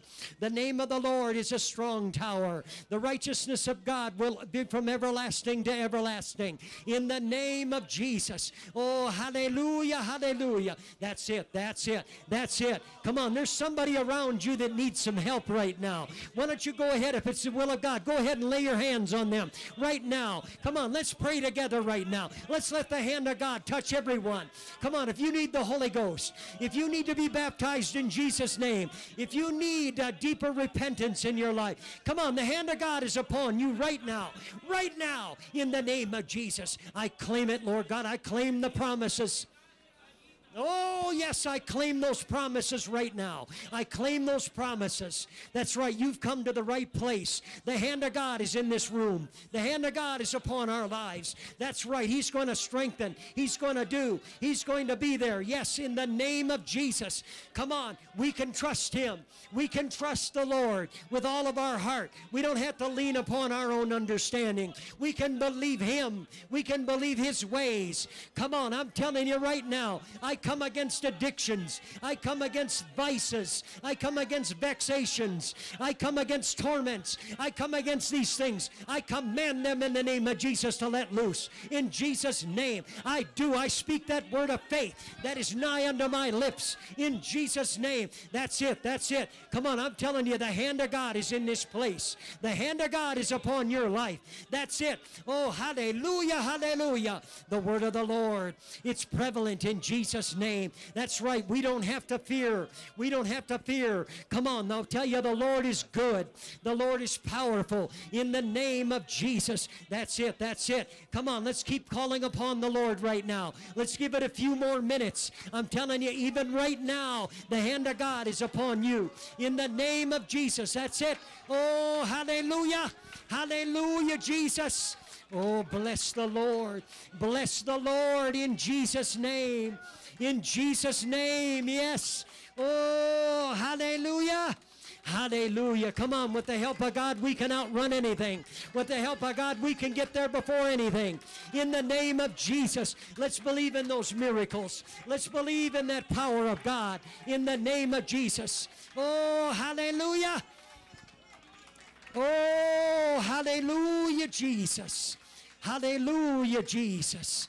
Hallelujah, Jesus. In the name of the Lord Jesus Christ. Now, just before you leave, now, before you leave this altar area, praise God. We, we had a prophecy that went forth in the prayer room here a few weeks ago, and I thank God for prophecy.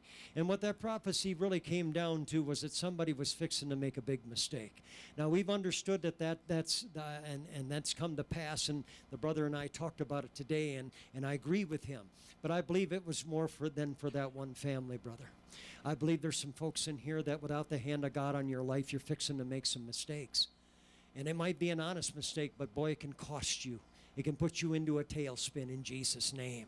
And I feel the, the hand of God is in this place to help you to recognize, praise God, to recognize what is the wrong direction, what is the wrong way in Jesus' name. I want us to begin to pray right now. I'm going to pray against spiritual darkness. I'm going to command it to leave each one of your lives in Jesus' name and to stay gone in Jesus' name. Lord God, I'm praying that. I pray that right now in Jesus' name. Lord God, that you can help these people. They're good people. They want to serve you, they want to see you be the leader of their homes in Jesus' name. Now, Lord God, put that anointing upon them right now that will recognize your hand, that will recognize what you want to do in Jesus' name. Oh, yes. Oh, yes. Come on. I'm telling you right now, in the name of Jesus Christ of Nazareth, He is here. He is here to help in those situations right now, in Jesus' name. Oh, hallelujah. Hallelujah. Come on. I'm telling you right now. Right now. The hand of God. Oh, Jesus. Oh, Jesus. Oh, Jesus. Yes, yes, that's it, that's it, that's it. Come on, I tell you, I come against that spiritual darkness in high places in Jesus' name. I come against that in Jesus' name. Yes, yes. Come on, somebody needs to let the Holy Ghost flow through them right now. Come on, I'm telling you, it's here. Oh, yes. Yes, in the name of Jesus. That's it. That's it. In the name of Jesus. In the name of Jesus. Oh, hallelujah, hallelujah. I come against that, Lord God, in Jesus' name. I command it to let loose in Jesus' name. You said these signs would follow them that believe. Oh, hallelujah, Jesus. I take that for face value. That is your hand, Lord God. In your name we shall we shall cast out devils. In the name of Jesus, your word will confirm in Jesus' name. Praise God. One more time, if it's proper, go ahead and put your hand on the person next to you right now. And let's pray one for another. Again, let's pray for one another in Jesus' name. Come on, let's pray that the hand of God will come upon us on a regular basis. Come on, there you go, there you go. In the name of Jesus. No reason why not. No reason why not, in Jesus' name. Oh, hallelujah, hallelujah. Praise you, Jesus. Praise you, Jesus. Oh, thank you, Lord. Thank you, Jesus. Oh, that's it. That's it. Hallelujah. Clear wisdom, understanding, knowledge, Lord God, that comes and proceeds from the throne room of grace. Oh, hallelujah. Bless you, Jesus. Bless you, Jesus. Bless you, Jesus, in Jesus' name. Oh, hallelujah, hallelujah, hallelujah. Let's thank the Lord together. Can we do that?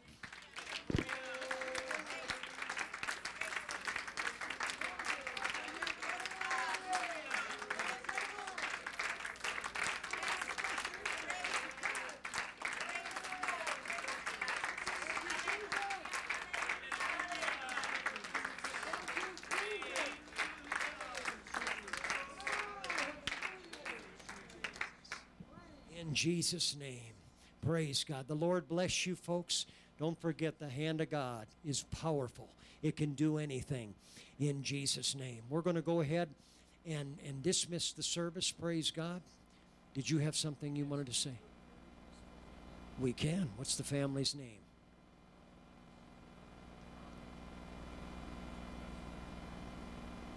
And what is what are their what's the name? Yeah. Block, B L O C K, Block, okay? And they've had something bad happen to them. They had uh, someone pass away, that type of thing. Okay.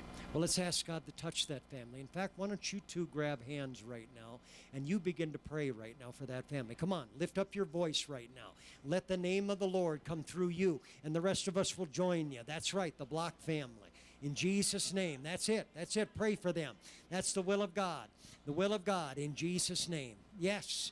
Lord God, you know this situation. You know the tragedy. You know what it takes. Let your hand be upon their lives. Let somebody here be used, Lord God, in leading to the grace of God in Jesus' name. Oh, hallelujah, hallelujah, Jesus. Praise the name of the Lord. Blessed be to the name of the Lord. In the name of Jesus. Oh, yes, that's right, that's right. I trust you, Lord. Mm, hallelujah, hallelujah. That's right. You're doing good, guys. Come on, pray. Ask God to touch them. Ask God to minister to them. Oh, that's it. That's it. That's it. Let the hand of God come upon you for that. In the name of Jesus. Oh, hallelujah, Jesus. Praise the name of the Lord. Praise the name of the Lord. Praise the name of the Lord. Oh, yes. Yes. Hallelujah, Jesus. Thank you, Jesus. Praise you, God. He's not done yet, boys. Come on, He's using you right now. Go ahead and intercede for a few minutes. That's right, God's touching them right now as you pray. Oh, hallelujah. Hallelujah.